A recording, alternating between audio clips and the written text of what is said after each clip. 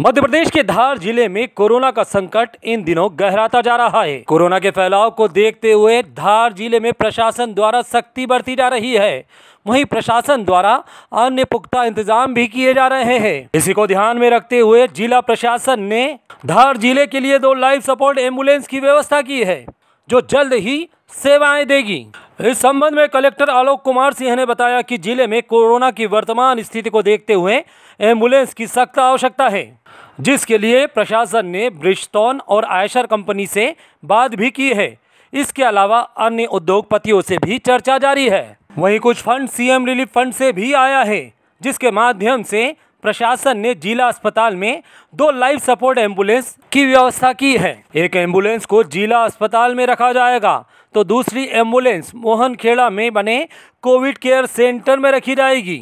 Collector Alok Kumar Singh ने बताया कि मुझे उम्मीद है कि अगले तीन दिन में दोनों एंबुलेंस हमारे पास आ जाएगी और हम लोगों की मदद कर पाएँगे।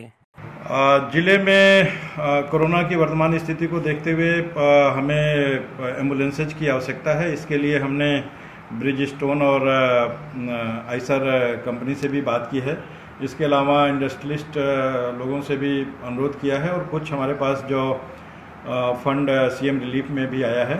उसके माध्यम से हम अगले तीन दिन में जिला अस्पताल में दो लाइफ सपोर्ट एंबुलेंस ले रहे हैं। एक एंबुलेंस जिला अस्पताल में रखेंगे और एक मोहनखेड़ा में जो हमारा बड़ा सेंटर बना है, कोविड सेंटर, हम वहाँ पे उपलब्ध कराएँगे।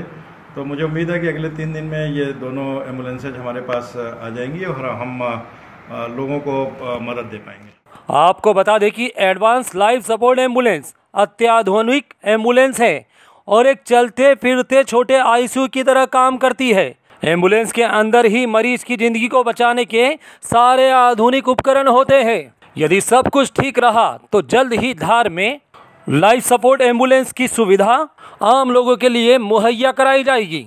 समाचार एक्सपोज के लिए धार से डॉक्टर अशोक शास्त्री की रिपोर्ट।